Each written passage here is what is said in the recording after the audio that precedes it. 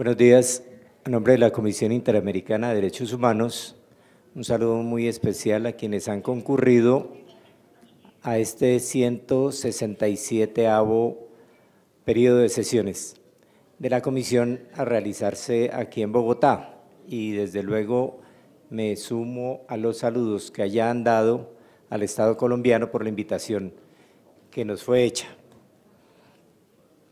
Me acompañan aquí en la dirección de la audiencia los comisionados Flavia Piodesán, una caracterizada profesora en Derechos Humanos en el mundo y constitucionalista, profesora de muchas universidades y además del Instituto Max Planck en Alemania. Y el doctor Joel Hernández, ellos dos eh, de México, ellos dos son las últimas, diríamos, las adquisiciones de la Comisión Interamericana de Derechos Humanos y verdaderas adquisiciones. Creo que es como cuando se contrató a Neymar por parte del país Saint-Germain, entonces de muchísima altura. Eh, un saludo muy especial a los representantes de la sociedad civil y por el Estado de Honduras, el honorable Estado de Honduras, eh, a todos sus representantes. La mecánica con la cual vamos a trabajar es que vamos a otorgarles 15 minutos a los representantes de la sociedad civil y les voy a rogar el favor que sean muy puntuales en el manejo del tiempo. Nosotros los estaremos anunciando cuando falten cinco minutos, cuando falten tres minutos, cuando falte un minuto y por favor me disculpan, pero voy a tener que cortar cuando venzan los 15 minutos. E igual va a acontecer para el honorable Estado de Honduras. ¿Cuál es el objeto? Ya ustedes quienes han eh, recibido la información antes de ingresar, el objeto es establecer mm, y recibir eh, las denuncias de violaciones de derechos humanos en el contexto postelectoral reciente en el Estado de Honduras, en la República de Honduras, y mm, pues para saber realmente el estado real de esas denuncias, si son ciertas, si no son ciertas, pero recoger los elementos de juicio correspondientes. Desde luego que eso no obsta para que después de que los escuchemos podamos recibir información adicional por escrita que va a ser objeto de valoración por parte de la Comisión Interamericana de Derechos Humanos. Tenemos muchas dificultades de tiempo y lo que normalmente pedimos es que cada uno se vaya identificando, pero les rogaría el favor que lo hicieran de la manera eh, más rápida posible entonces, sencillamente, soy tal persona y arranquen, porque, repito, no van a tener sino 15 minutos para ambas partes. Así que bienvenidos y empezamos la audiencia. Hasta por 15 minutos tienen eh, la palabra los representantes de la sociedad civil. Buenos días, señores comisionados y comisionadas. Me acompañan en la mesa integrantes de CEGIL y la Coalición contra la Impunidad que está conformada por 80 58 organizaciones hondureñas. En esta audiencia presentaremos a la ilustre comisión eh, información actualizada sobre las violaciones de derechos humanos ocurridas en este país durante y tras el 26 de noviembre de 2017, día en que se celebraron comicios generales. En ese marco nos referiremos a las irregularidades que han sido documentadas sobre el proceso electoral, las violaciones al derecho a la manifestación pacífica y la libertad de expresión debido al uso excesivo y desproporcionado de la fuerza, así como los obstáculos que impiden el ejercicio del derecho a defender derechos humanos. En los últimos años el Poder Ejecutivo hondureño presidido por Juan Orlando Hernández, ha promovido decisiones para aumentar la concentración del poder en su persona y así controlar instituciones claves como la Corte Suprema de Justicia, la Fiscalía General de la República y el Tribunal Supremo Electoral, entre otros. Una de las mayores apuestas de Juan Orlando Hernández ha sido la militarización de la seguridad ciudadana, lo que ha tenido graves consecuencias en el ejercicio del derecho a la manifestación y reunión, haciéndolo prácticamente nulo, como explicaremos más adelante. Para entender la crisis actual es importante entender la reelección presidencial, entender que la reelección presidencial está prohibida por nuestra Constitución de la República en una norma pétrea, es decir, sin posibilidad de modificarse y sin embargo en el año 2015 La Sala Constitucional declaró su inaplicabilidad. Valga aclarar que esta sala había sido integrada por personas afines al Ejecutivo. Además de permitirse de manera irregular la reelección, podemos afirmar que en las pasadas elecciones no existieron condiciones adecuadas para garantizar el derecho a elegir y ser electo. Así, por ejemplo, se omitieron reformas fundamentales como la posibilidad de tener una segunda vuelta electoral, contar con representación de todos los partidos en el Tribunal Supremo Electoral, hacer la depuración y actualización del censo electoral y establecer el voto electrónico, entre otras. Ahora bien, sobre el proceso electoral y sus irregularidades consta lo siguiente. El 26 de noviembre de 2017, día en que se llevaron a cabo las elecciones generales, se cerraron las urnas a las 4 pm, sin extenderse el plazo de votación, a pesar de que múltiples personas esperaban en la fila para votar. En el escrutinio de votos, el Tribunal Supremo Electoral durante varias horas omitió dar avances de resultado hasta las 2 de la mañana del día siguiente, cuando anunció que había una ventaja del 5% a favor del candidato de la oposición Salvador Narrala, cuya modificación, según han señalado las personas expertas en estadística, era técnicamente irreversible. Días después, el tribunal anunciaría el triunfo de Juan Orlando Hernández. Los informes de las misiones electorales de la OE y de la Unión Europea dieron cuenta de irregularidades importantes. Por ejemplo, se alteró el orden de despacho y descargas de maletas con los votos. El sistema de procedimiento de actas quedó detenido por un periodo de 13 horas, lo cual implicó una notoria alteración para favorecer al partido oficialista. Y las actas de 1.006 mesas presentaron inconsistencias numéricas, entre otras. Debido a lo antes mencionado, la misión electoral de la OEA expresó enfáticamente que se presentaron irregularidades y errores sistemáticos y afirmó que no era posible la declaración de un ganador, a partir de lo cual el secretario general de la OEA instó a la nueva celebración de comicios, recomendaciones que fueron obviadas. Como reacción de la ciudadanía en el transcurso de este proceso y hasta la actualidad miles de personas en Honduras se han manifestado en contra de los resultados electorales a través de masivas movilizaciones, caravanas, cacerolazos, tomas barriales o zonales pacíficas, expresiones en redes sociales, entre otras. El Estado, contrario a garantizar el derecho a manifestación, reaccionó con múltiples y graves violaciones de derechos humanos, a lo cual se referirá nuestra compañera Heidi Alachán. Sobre las tácticas y estrategias sostenidas por los cuerpos de seguridad en contra de la ciudadanía voy a referirme ahora mismo. Las organizaciones de derechos humanos en Honduras, además de defender los derechos de la población indefensa, hemos implementado en estos últimos meses una metodología de investigación para poder monitorear y documentar la respuesta de las autoridades ante la movilización ciudadana. Así, hemos identificado las siguientes actuaciones. En relación a la represión durante las manifestaciones públicas, observamos Número uno, el uso indiscriminado de gases lacrimógenos lanzados directamente al cuerpo de los manifestantes y dentro de espacios cerrados, particularmente dentro de casas de habitación. Número dos, la aplicación de castigos humillantes de manera pública. Número tres, el empleo de instrumentos policiales y militares no autorizados, destacando entre ellos el uso de taser o, armas de electrochoque. Número cuatro, la infiltración en las movilizaciones por parte de agentes de inteligencia y guardias de seguridad privada. Número cinco, el uso de balas vivas en las manifestaciones. Número seis, el uso de tanquetas y gases químicos contra manifestantes. Número siete, el ataque y destrucción de equipos a periodistas y medios de comunicación no corporativos. Número ocho, la detención arbitrarias, incluso en los hospitales cuando las personas heridas estaban siendo atendidas. Número 9, el uso de cuarteles militares como centros de detención. Y número 10, la instalación de retenes militares que obstaculizan la asistencia médica.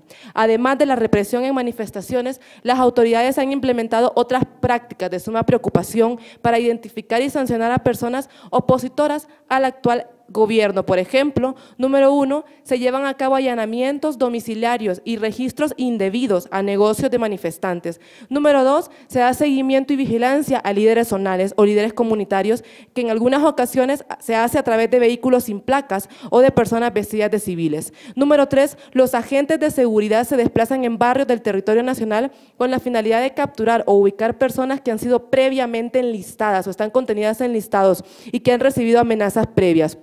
Número cuatro, están ocurriendo ejecuciones selectivas de personas que han sido víctimas de campañas de desprestigio. Y número cinco, se está utilizando de manera indebida el derecho penal para criminar la protesta social. Número seis, se ha aumentado la presencia militar y policial en las colonias con mayor oposición a los resultados electorales, observándose agentes con pasamontañas y con armas de grueso calibre, así como sobrevuelos frecuentes de helicópteros, avionetas y uso de drones.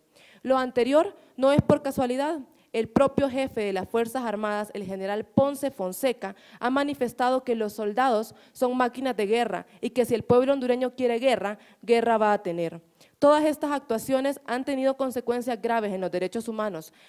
Las organizaciones hemos documentado 192 manifestaciones, eh, manifestaciones reprimidas y alrededor de 1.257 detenciones. Una persona detenida desaparecida, 38 muertes de personas en el marco del conflicto 76 personas víctimas de tortura, tratos crueles, inhumanos y degradantes. 393 personas heridas y lesionadas en las manifestaciones, varias de ellas con consecuencias irreversibles en su salud. 105 personas desplazadas por persecución política, 15 periodistas agredidos, 89 personas criminalizadas, 24 de ellas están en prisión preventiva y las consideramos personas prisioneras políticas, así como 73 personas defensoras, víctimas de amenazas y otras acciones. Ante estas violaciones, la respuesta de los órganos de justicia ha sido en el menor de los casos negligente. Para abordar este tema pasaré la palabra a mi compañero Carlos Paz. Sobre la respuesta de la institucionalidad y en particular el aparato judicial, podemos afirmar que existe un trato diferenciado para la población. Esto quiere decir que cuando la ciudadanía u organizaciones de derechos humanos recurren a denunciar violaciones ejecutadas por el Estado, la respuesta es prácticamente nula o bien, cuando hay algún tipo de respuesta, esta es negligente. En cambio, cuando se trata de criminalizar a la población que protesta, el Ministerio Público es sumamente diligente en formular acusaciones.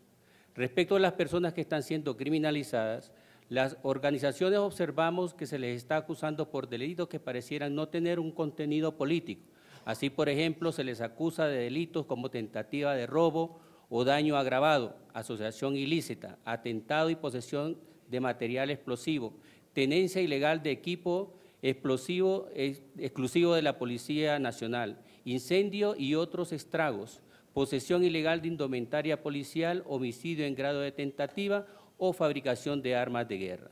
En muchos casos, las personas detenidas manifiestan que se les ha implantado pruebas puesto que al allanar sus viviendas no encuentran nada. Luego se les traslada a instalaciones policiales o militares. Ahí se les toma fotos con armas u otros artefactos y se les presenta o exhibe a los medios de comunicación. A numerosas personas detenidas se les ha denegado el, el acceso a una defensa y se les impone de inmediato la prisión preventiva pese a no reunir los requisitos legales.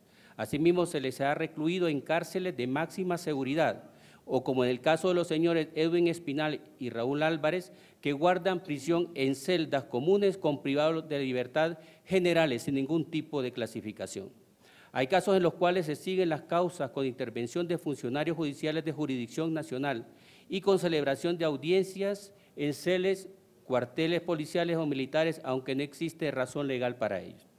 Respecto a las personas que guardan prisión preventiva, el Mecanismo Nacional de, Prevención contra la Tortura realizó un informe tras varias visitas a establecimientos penitenciarios y centros de detención, concluyendo que se registraron diversas acciones constitutivas de torturas, malos tratos inhumanos y degradantes.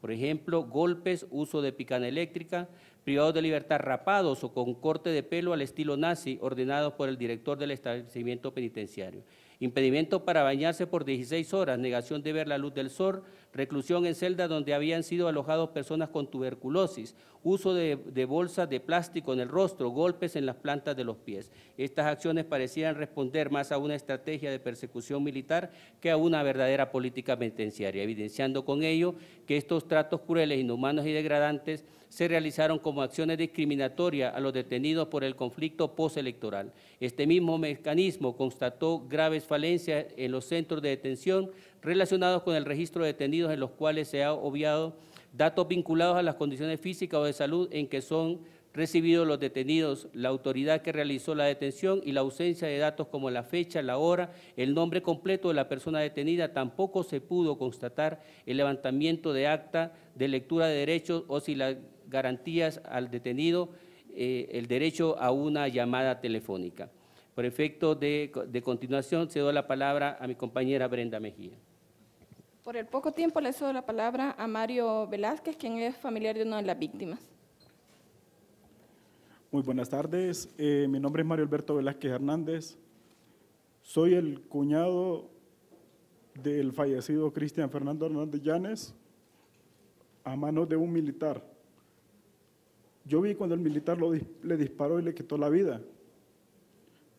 Yo acudí al militar que lo mató y le dije que me ayudara.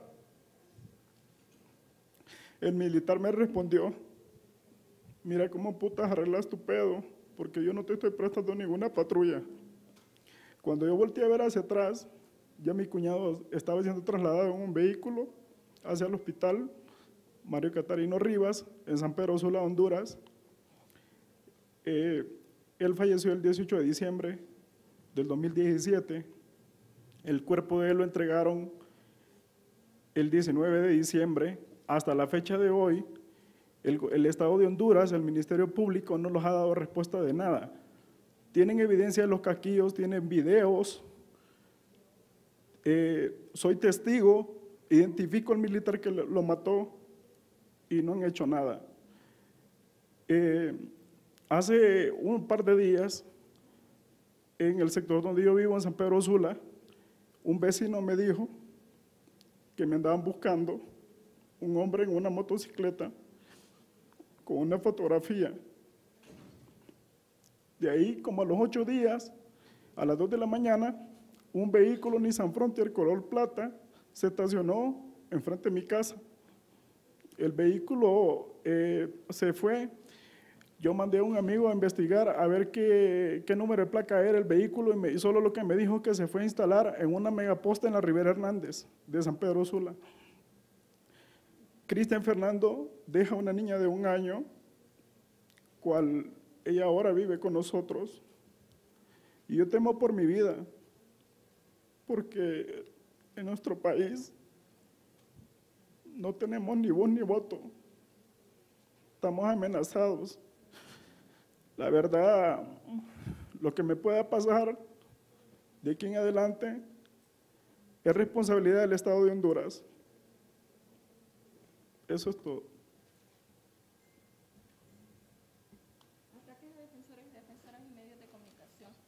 Como lo ha manifestado en reiteradas ocasiones la ilustre comisión, Honduras es uno de los países más peligrosos para ejercer la defensa de derechos humanos.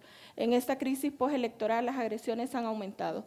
Estas violaciones se expresan en amenazas a muerte. Un ejemplo es el caso del defensor de derechos humanos Joaquín Mejía Rivera, quien está siendo amenazado junto a su familia. Esto lo llevó a solicitar medidas de protección al mecanismo de protección, pero se las denegaron argumentando que no había prueba de vínculo de las amenazas con su labor de defensa. No obstante, la Comisión Interamericana sí valoró el riesgo existente y le otorgó las medidas de manera inmediata. Wilfredo Méndez, director de CIPRO de acá presente, fue perseguido por un vehículo con hombres armados. Además, anteriormente Wilfredo fue golpeado por un militar al tratar de interceder para que no siguieran reprimiendo. Perdón, venció el tiempo. Si quieres, deja la parte final de la intervención para los siete minutos que tienes de réplica. Y me parece que puede hacer la exposición lo más el sustrato correspondiente. Ok, perfecto. Por 15 minutos también tiene el uso de la palabra el, el Estado de Honduras. Bienvenidos. Honorables comisionados de la Comisión Interamericana de Derechos Humanos, el Estado de Honduras comparece a este 167 periodo de sesiones como muestra de su continuo compromiso de respeto, protección y promoción de los derechos humanos, de rendición de cuentas y de transparencia ante los organismos internacionales en esta materia. Me acompaña una delegación interinstitucional cuya composición fue previamente informada a la Comisión, destacando la participación de la nueva Secretaría de Derechos Humanos. Asimismo, agradecemos al ilustre Estado de Colombia por su hospitalidad y la generosidad de acoger este periodo de sesiones. Quisiera comenzar manifestando que la audiencia a la que se nos ha convocado lleva como título la denuncia de violaciones de los derechos humanos en el contexto postelectoral, por lo que nuestra comparecencia se desarrollará en tres aspectos. El derecho a la libertad de reunión, asociación y manifestación pacífica, respecto al derecho a la vida, integridad personal y acceso a la justicia, y medidas de protección en el marco de la debida diligencia estricta. Respecto al derecho a reunión y libertad de asociación, honorables comisionados, peticionarios y demás presentes, el 26 de noviembre del 2017, en Honduras se celebraron elecciones generales a nivel presidencial de diputados y de corporaciones municipales. A las 4 de la tarde, unánimemente se reconoció que el proceso de votación fue libre, pacífico y transparente. Sin embargo, posteriormente a dicho evento, se realizaron diversas manifestaciones. Los días 29, 30 de noviembre y 1 de diciembre de 2017, algunas de estas manifestaciones se desnaturalizaron, caracterizándose por el surgimiento de actos de violencia y hechos delictivos como saqueos de negocios, destrucción de casetas de peaje, quemas y daños contra diversas instalaciones privadas y públicas y al medio ambiente, así como ataques en contra de agentes de la Fuerza de Seguridad del Estado y población en general, que se vio expuesto a daños en su vida, integridad física y algunos casos en la propiedad.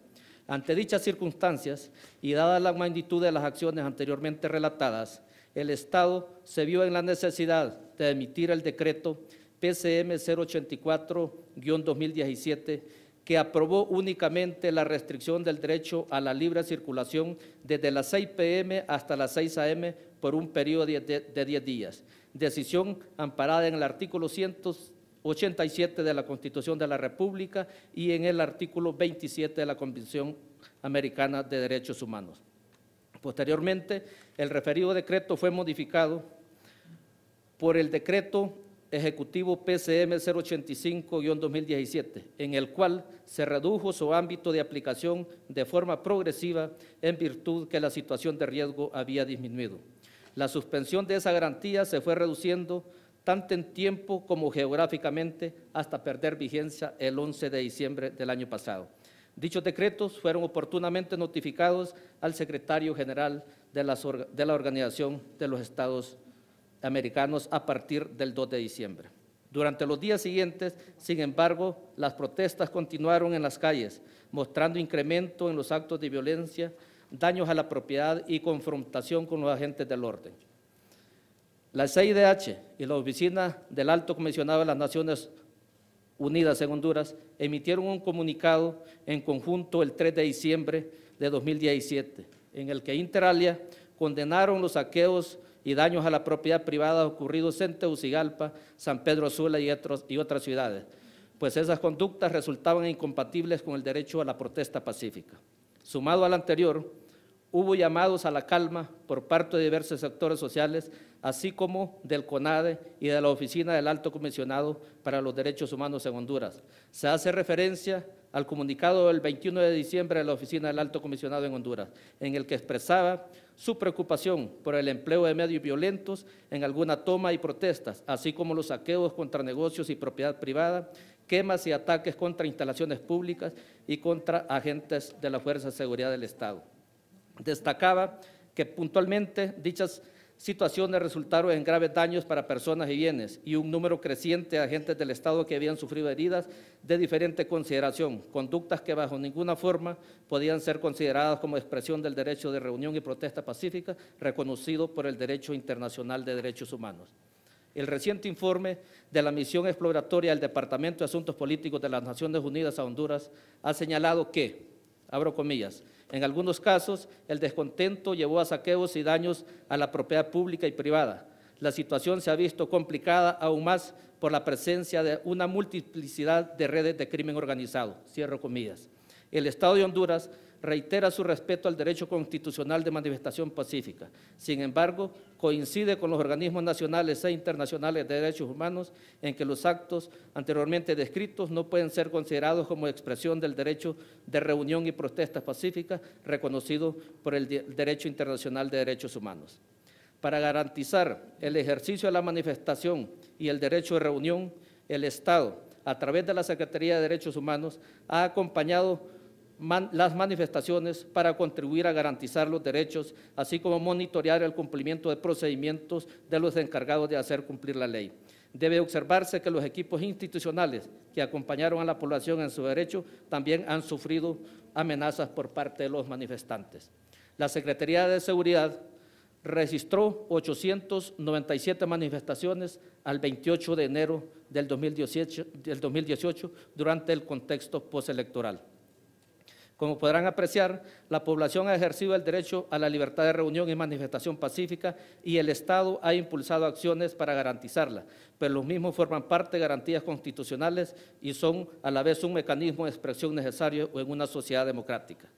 Honorables comisionarios, comisionados y peticionarios, nos parece necesario mencionar estas situaciones, ya que en los casos en los que ha existido violencia o la comisión de un delito, se han debido aplicar los principios básicos sobre el empleo de la fuerza. Al difícil contexto postelectoral en Honduras se le suma el reporte de pérdidas económicas que, de acuerdo al Consejo Hondureño de la Empresa Privada, asciende a 15 mil millones de lempiras, lo que equivale lo que equivale aproximadamente a 637 millones de dólares y una afectación a 20 mil empleos directos. Respecto al derecho a la vida, integridad personal y acceso a la justicia, el Estado lamenta profundamente la pérdida de cada vida humana y reitera el compromiso de investigar todos los hechos acaecidos en este difícil contexto postelectoral, con el fin de determinar responsabilidades y garantizar el acceso a la justicia y el derecho a la verdad a los familiares y víctimas. De manera temprana y con el fin de, llegar a la verdad, en cada uno de los casos se iniciaron las investigaciones por cada una de las instituciones responsables.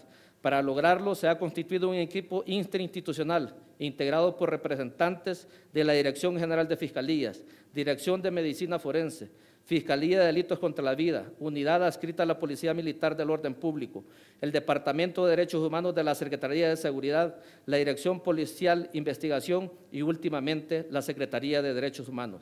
Este equipo tiene como objetivo homologar la información, dar seguimiento a los avances en las investigaciones, verificar caso por caso y su relación con el conflicto. Existen aproximadamente cinco casos donde los manifestantes o familiares de las víctimas han mostrado oposición para realizar las respectivas autopsias, lo que ha generado atrasos en las investigaciones. En este caso ya se ha solicitado al Poder Judicial la orden de exhumación y se están practicando las mismas.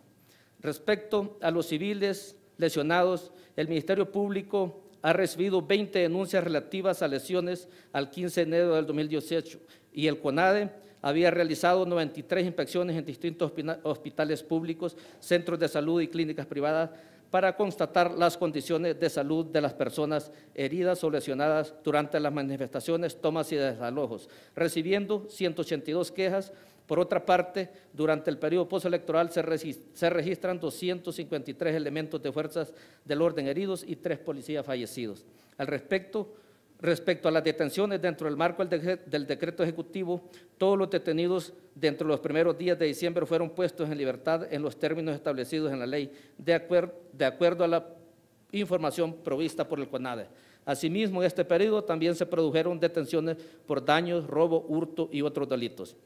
En cuanto a las denuncias sobre el uso de instalaciones militares para la detención de personas, es importante señalar que no se registra ninguna detención en dichas instalaciones. No obstante, se aclara que 34 personas detenidas infraganti por las fuerzas del orden el 1 de diciembre fueron trasladadas a las instalaciones de, de Fuerza de Seguridad Interinstitucional Nacional Noroccidental que comparte el mismo portón de ingreso con la 105 Brigada de Infantería. Estas 34 personas fueron acusadas por los delitos de robo agravado y asociación ilícita, 33 de los cuales fueron trasladados al respectivo centro penitenciario y un menor de 18 años entregado a la DINAF y posteriormente a sus familiares. Legalmente, igualmente, A la fecha, el Ministerio Público ha recibido 583 denuncias en relación a la supuesta detención ilegal y supuesto abuso de autoridad en ese contexto, y sobre estas se siguen las respectivas investigaciones. De su, de su, parte, en cada caso, sobre supuesto uso de la fuerza en el contexto de las manifestaciones, interpuesto ante la Secretaría de Derechos Humanos. Esta institución, de manera inmediata y urgente, ha instado la investigación correspondiente, tanto ante el CONADE como a la Dirección Policial de Investigación. Respecto a las medidas de protección en el marco de la vía de diligencia estricta, el Estado reconoce una vez más la importante labor de los defensores de derechos humanos y periodistas y comunicadores sociales y agradece a las diversas organizaciones por continuar ejerciendo su labor en este contexto. Durante el periodo postelectoral se han impulsado acciones de protección en casos concretos, entre ellos Radio Progreso, Movimiento Amplio por la Dignidad y la Justicia, UNETV, diferentes líderes sociales y diversos integrantes de organizaciones de sociedad civil. En el caso de Radio Progreso, el día 12 de diciembre, la Comisión Nacional de Telecomunicaciones informó que se realizó una inspección en la que pudo constatar que la torre de transmisión se desplomó, que al arribar se encontraba personal encargado de mantenimiento de la empresa, fiscales del Ministerio Público y miembros del Cuerpo de Bomberos. A su vez, el mecanismo de protección, solicitó de manera inmediata la investigación por parte del Ministerio Público. A partir del 26 de noviembre, la Dirección General del Sistema de Protección ha atendido en general 52 casos, de los cuales 30 están relacionados al contexto postelectoral. En estos 30 casos, 15 de ellos están relacionados con defensores de derechos humanos, 6 de comunicadores sociales y 9 de periodistas. Honorables comisionados, el Estado de Honduras nuevamente reitera la importancia del respeto, protección y promoción de los derechos humanos, que continúa siendo un reto y desafío constante. En agosto del 2017, y para contribuir al fortalecimiento de todo el sistema de protección de derechos humanos en Honduras, se creó la Secretaría de Derechos Humanos, el cual comenzó a operar el 27 de enero de 2018 y representa una acción concreta del Estado. A esta institución se le suma la decisión estatal de crear la brevedad la unidad de investigación de delitos contra defensores de derechos humanos, periodistas y comunicadores sociales y operadores de justicia. Aunado a la anterior, el presidente ha renovado compromiso con la oficina del alto comisionado y manifestado apertura con la CIDH para realizar la visita in loco en este año, durante la cual podrán profundizar sobre los aspectos abordados en esta audiencia. Muchísimas gracias. Quedaba un minuto, pero les agradecemos muchísimo por el manejo del tiempo y de todas maneras ahorita tenemos réplica y contrarréplica. Sin embargo, antes de eso vamos a escuchar eh, las inquietudes que tengan los señores comisionados y en lo particular, presidiendo la audiencia, me agradaría que el Estado nos contestara. Primero, ¿Qué incidencia tuvo el presidente en el nombramiento de los magistrados de la Corte que declararon inaplicable la norma que prohibía la reelección, de acuerdo a lo que escuchamos el día de hoy en la primera intervención? Eh, eso para que ahora la contesten y por favor vayan anotando más o menos cuáles son las inquietudes que tenemos. Lo que, lo que quiero saber es qué injerencia real tuvo el presidente en en esa designación y pues el tema aquí pasa por independencia y autonomía de, las, de los señores magistrados. En segundo lugar, me agradaría que nos dijeran el uso que se ha denunciado de algunos eh, elementos de fuerza, entre ellos eh, bombas lacrimógenas o de gases, contra el cuerpo de los manifestantes, si realmente ocurrió o no. Y en tercer lugar, de mi parte, que ustedes nos dijeran qué ocurrió en el caso del, de la declaración que estuvimos escuchando el día de hoy de la víctima de un homicidio que se llama... Cristian Fernando. Eso, Cristian. Entonces, para que ustedes nos, eh, nos puedan informar qué ha ocurrido con eso y en qué estado se encuentra la investigación correspondiente. Y ahora le voy a ofrecer el uso de la palabra a los honorables comisionados. Voy a empezar por el señor relator de la Corte Interamericana de Derechos Humanos para Honduras, que es el profesor Joel Hernández, eh, profesor de la UNAM. Bienvenido, doctor Hernández. Muchas gracias, presidente.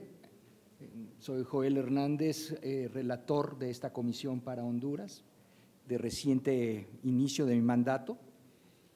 Y quiero empezar por agradecer las expresiones aquí vertidas sobre los hechos ocurridos en el conflicto postelectoral.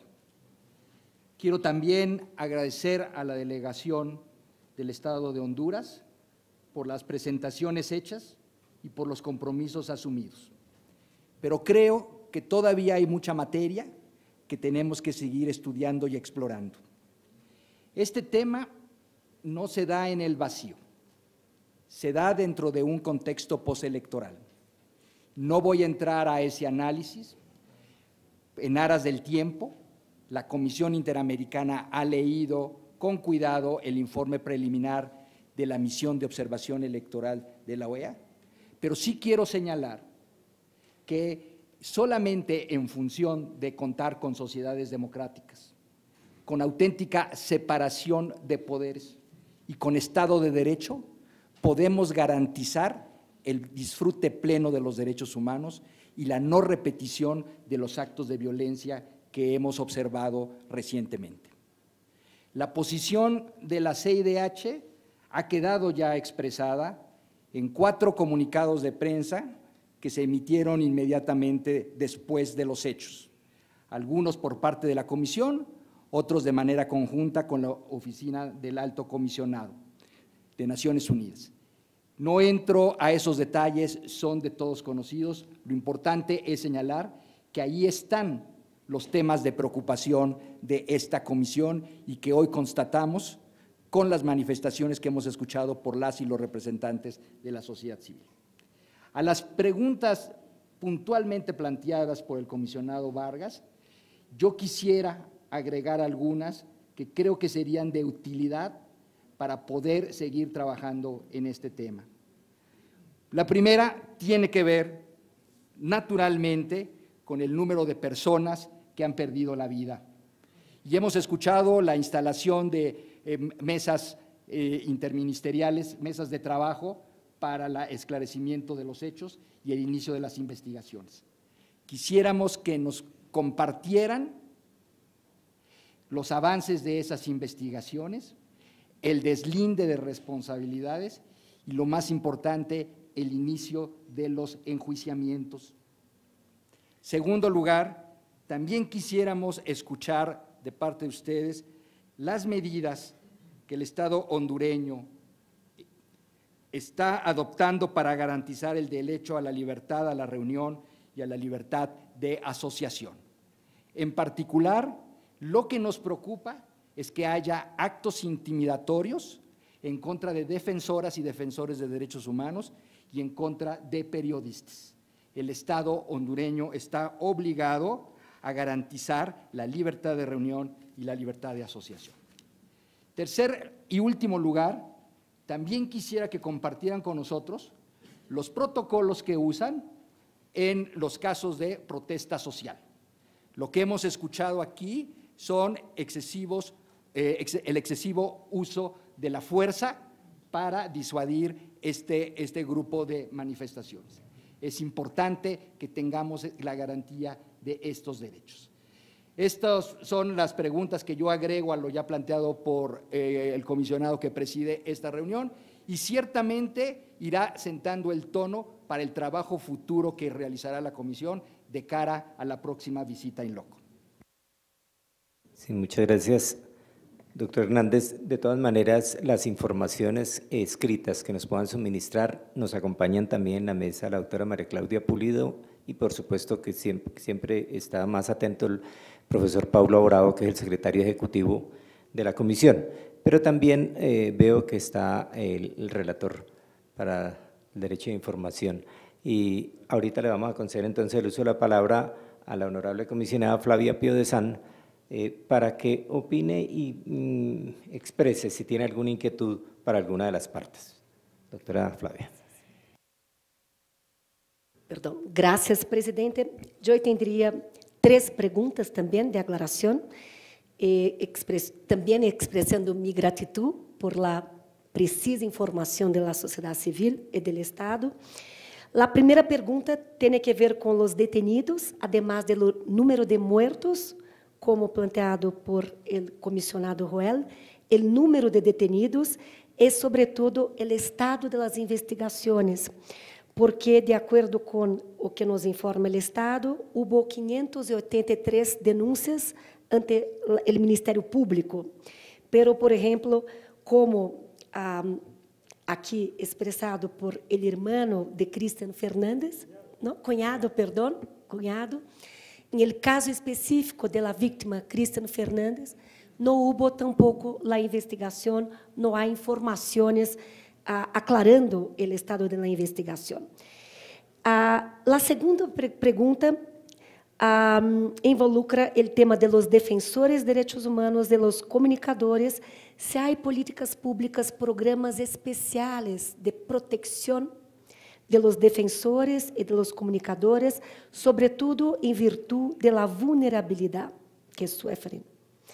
E a terceira pergunta tem que ver também com o planteado por el comissionado uh, Roel sobre a participação das forças militares e o que nos informa a sociedade civil o uso de quartéis militares como centro de detenção, ou seja, quais são, uma vez mais, os protocolos para o uso proporcional e adequado da força. Muitas graças, senhor presidente. A usted, doctora Flavia, y no sé si el relator para la libertad de información. Ah, pero primero el señor secretario ejecutivo, doctor Pablo Bravo, tiene el uso de la palabra. Muchas gracias, presidente. Também me saludos às organizações da sociedade civil, representantes do Estado. Minha pergunta vai na linha de lo que o comissionado relator país, Jorge Hernandes, eh, questionou, se há um, detalhamento, ações específicas sobre o estado das investigações das 33 mortes, que a priori foram foi o número que o comunicado de prensa de sempre havia identificado, obviamente que comissionado Roel perguntou já uma precisão se, eh, em respeito ao número, pero saber concretamente o avanço das investigações. Graças. Muy bien, doctor Edison Lanza, relator especial de la Comisión Interamericana de Derechos Humanos para la Libertad de Información. Gracias, presidente. Eh, muy buenos días a las delegaciones de la sociedad civil y del Estado. Voy a ir rápidamente al punto. En primer lugar, una, una precisión en los comunicados de prensa que se leyeron parcialmente, eh, y esto es, público, decir que la comisión y la relatoría eh, iniciaron por condenar el asesinato de personas, eh, también por la detención de ciertas personas que manifestaban, exhortaron en varias oportunidades al Estado a respetar el derecho a manifestarse y condenaron también las amenazas de hostigamiento y, rotura de equipos a este, periodistas. Y en ningún momento, no sé si esto puede extraerse de la interpretación de la lectura que hizo el, la gente del Estado, en ningún momento el reconocer que hubo hechos de violencia que provinieron de algunos manifestantes o de presuntos manifestantes, en ningún momento con eso la comisión este, convalidó que las protestas fueran ilegítimas o que no pudieran tener lugar. Todo lo contrario, eh, el hecho de que algunos manifestantes o presuntos manifestantes incurran en actos de violencia no invalidan las protestas y eh, obligan al Estado a permitir que los manifestantes que estaban este, justamente exigiendo eh, eh, el respeto a la voluntad popular en, las urnas, eh, digamos, tengan garantizado su derecho a manifestarse. en cuanto a las preguntas, una, primera cuestión tiene que ver con el, hecho de Radio Progreso. el Estado ha hablado de que se desplomó la antena, sin embargo, Radio Progreso hizo llegar denuncias a la Comisión de que fue objeto de un sabotaje y como todos sabemos, Radio Progreso es el principal órgano, digamos, que expresa una, voz crítica hacia el, actual, hacia actual gobierno. Por lo tanto, quisiéramos tener acceso a ese documento o esa investigación que Conatel inició y si se ha investigado este, eh, el alegado sabotaje, que es nada menos en la capital del país, lo que le impide a Radio Progreso hoy emitir este, para justamente el principal eh, centro urbano de, Honduras. Eh, en segundo lugar, las tareas de vigilancia que, aquí se, denunciaron por parte de la sociedad civil.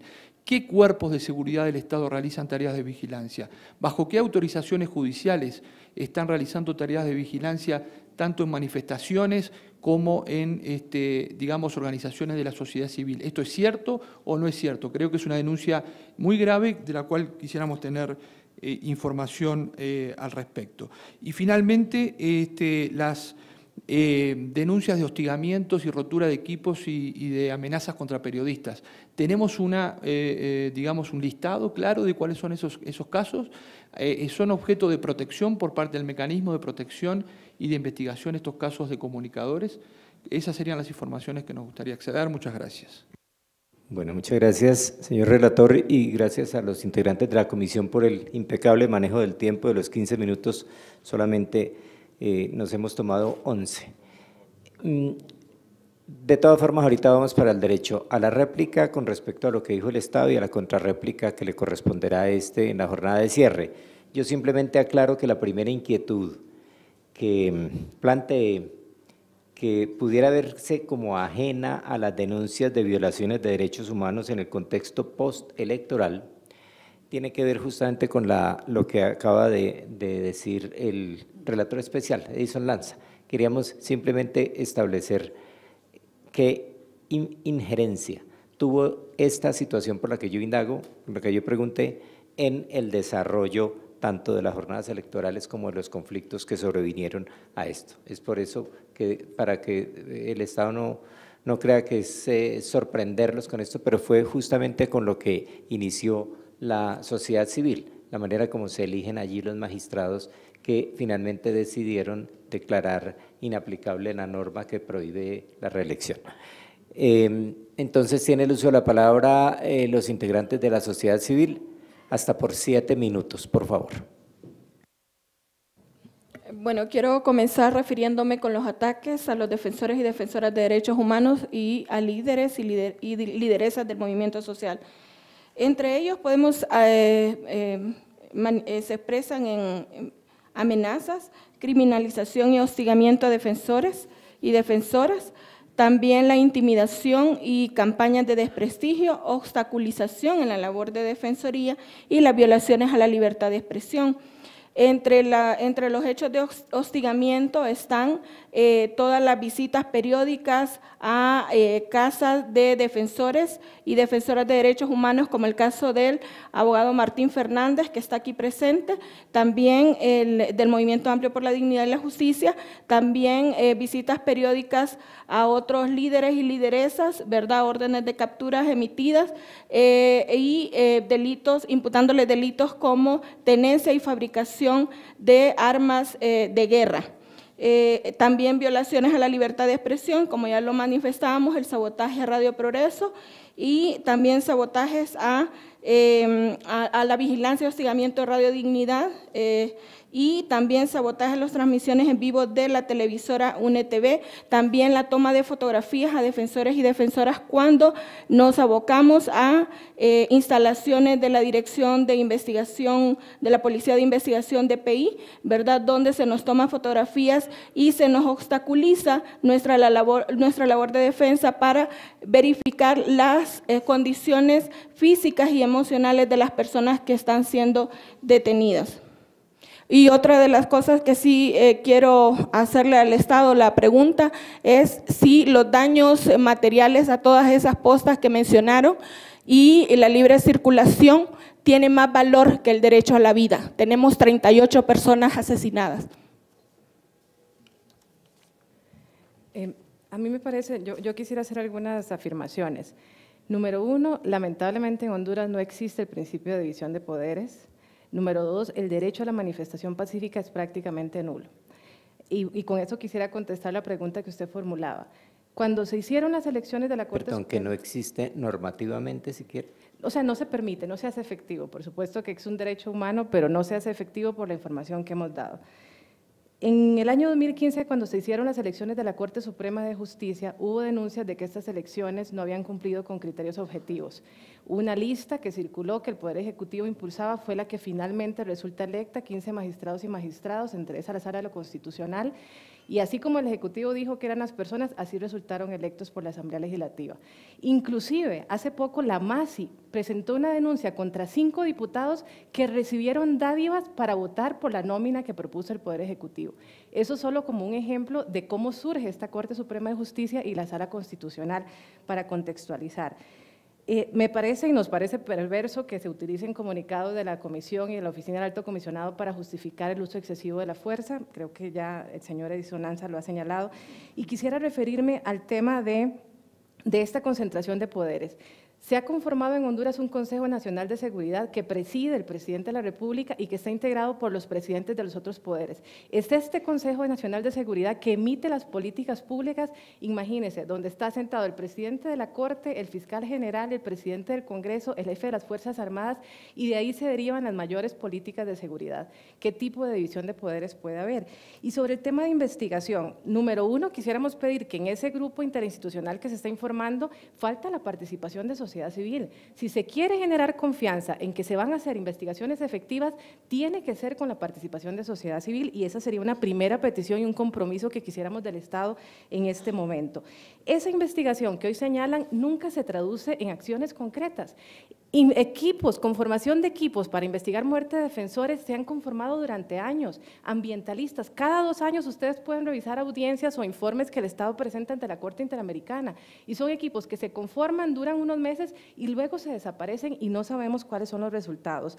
La Secretaría de Justicia y Derechos Humanos, que nos parece por supuesto importante, eso ya existió en el gobierno de Pepe Lobo y tampoco lamentablemente se lograron avances. Ojalá que ahora pues eso pueda tener algún significado en las políticas de seguridad que tiene el Estado de Honduras.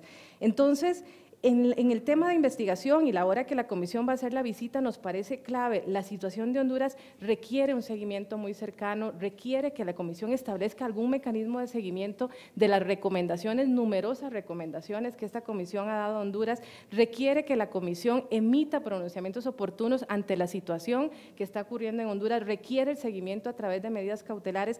Realmente la población en Honduras está indefensa y si además de esto se sigue amenazando y atacando a los defensores y defensoras, ¿quién realmente puede ayudarlos? Le cedo la palabra a Martín Fernández. Bien, buenos días. Eh, en realidad, eh, yo solo quiero señalar cosas precisas y es señalar que estamos, digamos, ante una dictadura, tal como se ha expuesto acá. Es casi seguro que dadas las circunstancias que tiene Honduras hoy, es posible que para nosotros, cualquiera de los defensores que está aquí, sea la última vez que venga a esta comisión. Estamos bajo una amenaza grave. Hemos tenido 10 ataques para el caso en el movimiento amplio en un lapso de 60 días. No estamos especulando, tenemos información precisa y sabemos que todos los cuerpos policiales de Honduras están dispuestos a asesinar gente. Tengo información incluso desde dentro de cuarteles militares.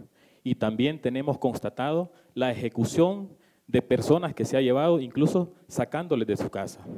En el caso particular de del movimiento amplio, vamos a cuestionar para el caso el cómo no funciona el mecanismo, digamos, el mecanismo para protección de defensores de derechos humanos.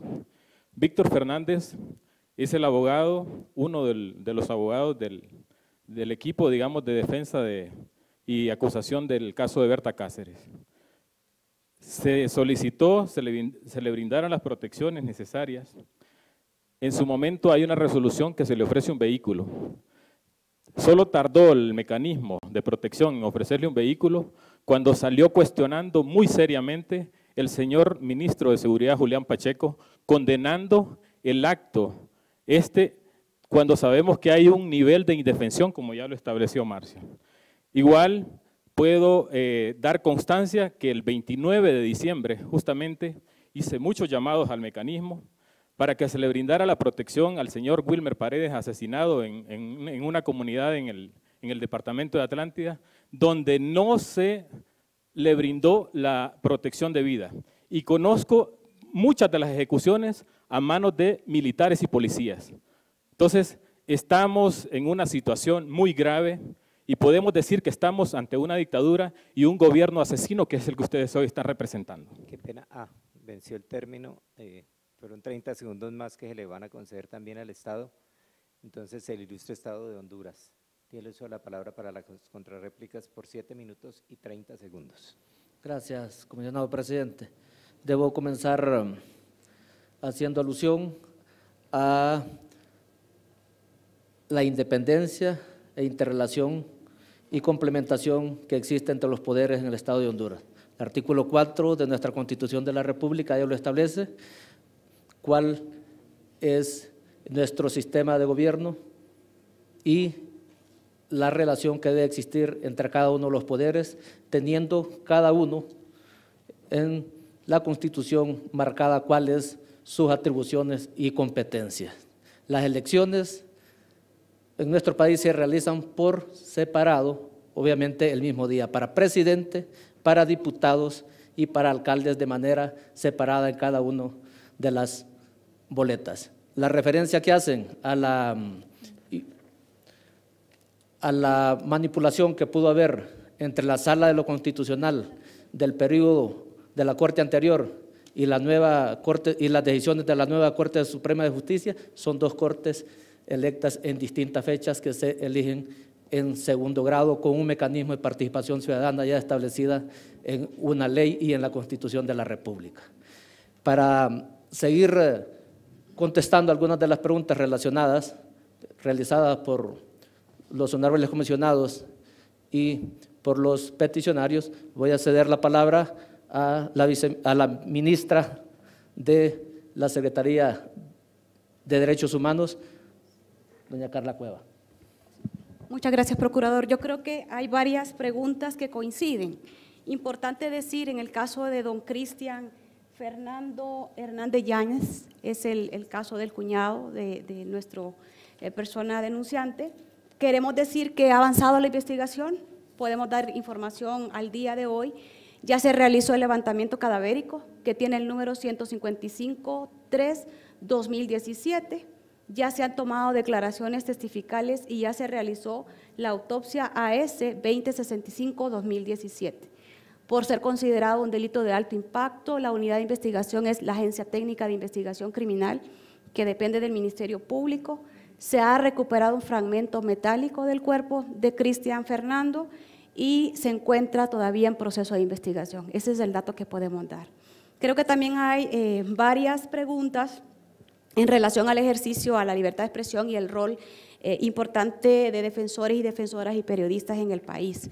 Ante la pregunta de que existe una, si existe una política pública de protección a esta labor, queremos recordar que desde el año 2015 Honduras aprobó la Ley de Protección a Defensores de Derechos Humanos, Periodistas, Comunicadores Sociales y Operadores de Justicia, que está en pleno funcionamiento. Dentro de sus órganos eh, que constituyen el Sistema Nacional de Protección, también sociedad civil participa dentro de la toma de decisiones a través del Consejo Nacional de Protección, en donde se encuentran representadas cuatro organizaciones de derechos humanos de sociedad civil, aparte de la representación de la Asociación de Prensa de Honduras, el Colegio de Periodistas, el Colegio de Abogados, la Asociación de Fiscales y la Asociación de Jueces por la Democracia, junto también a representantes de las instituciones del Estado. Es importante mencionar que solamente hay tres mecanismos similares de protección en América Latina, Honduras es el tercero, eh, y con la pronta creación de la unidad de investigación de amenazas eh, y delitos contra defensores y defensoras, periodistas y operadores de justicia, será el único mecanismo en América que tendrá el pilar de investigación incorporado. Esa será también una herramienta preventiva para coadyuvar en la pronta investigación y así ser un disuasivo o preventivo del riesgo que pudieran estar sufriendo los defensores y también investigará de manera segura las, las campañas denunciadas de criminalización o amenazas contra esta labor. Yo creo que también es importante que la abogada Nora Urbina nos cuente todas las acciones que se han hecho para proteger a defensores eh, eh, y periodistas dentro del contexto postelectoral. Muchas gracias. Buenos días, saludamos a la delegación de sociedad civil y también a ustedes, señoras y señor, señora comisionada. Eh, decir que también le damos la bienvenida a la oficina del alto comisionado en esta sala, pues ha sido una acompañante permanente a las acciones de la protección a defensores, también un gestor de protección. Soy Nora Urbina, directora general del sistema de protección. Eh, quisiera referirme en términos generales a que la protección a defensoras y defensores eh, se hace a través de un sistema nacional, cada una con su rol. El rol de la dirección específicamente es eh, velar porque esas medidas de protección en su variada catálogo sean brindadas de manera efectiva.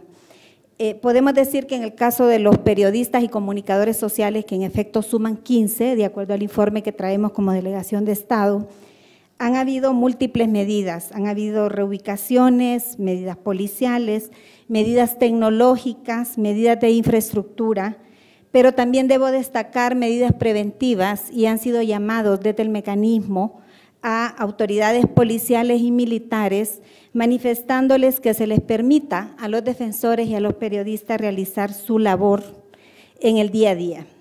También debo eh, expresar en, el caso de Radio Progreso que oportunamente la Dirección General eh, ha dictado algunas medidas de protección consensuadas con ellos, pero eh, además el pedir esa investigación. Todos los casos que se llevan al mecanismo una medida primordial es pedir que se realice una investigación en cada uno de los casos. Y no puedo dejar de referirme al caso que mencionaba el abogado Martín, en el sentido que hubo una llamada al mecanismo. Afortunadamente, digo, para la documentación, la llamada fue grabada por ellos mismos, por los defensores. En ningún momento se dijo que había una persecución contra Wilmer Paredes. Fue una llamada muy general en que habían patrullajes, habían carros que estaban circulando y el mecanismo sí hizo una, eh, una oportuna intervención en el sentido de pedir a otras autoridades competentes, de acuerdo a los roles, su intervención. Lamentamos, por supuesto, esa muerte y hemos estado demandando desde el mecanismo de protección una investigación imparcial, oportuna y efectiva. Y para pues terminar por el tiempo, reiterar que el mecanismo de protección ha sido creado para las y los defensores de derechos humanos. Solo en este periodo postelectoral se han consensuado con ellos, muchos de ellos aquí presentes, 187 medidas de protección, entre las cuales, como dije antes, hay medidas de infraestructura, tecnológicas y preventivas. En el caso de Joaquín Mejía, informarles, honorables magistrados, eh, comisionados, que si bien al inicio no se encontró un nexo causal, requisito que hay en la ley, en el, el mecanismo, atendiendo a que es un mecanismo pro persona, en este momento hemos logrado consensuar con él suficientes medidas de protección de infraestructura, tecnológicas y policiales. Y para finalizar, pues desde, desde este momento decirles que pueden quedar tranquilos porque el mecanismo va a ofrecerle toda la protección al testigo aquí presente. Gracias. muchísimas gracias y eh, simplemente para advertir hacia futuro que en lo posible los lenguajes ríspidos que puedan expresar con respecto a un Estado están realmente proscritos.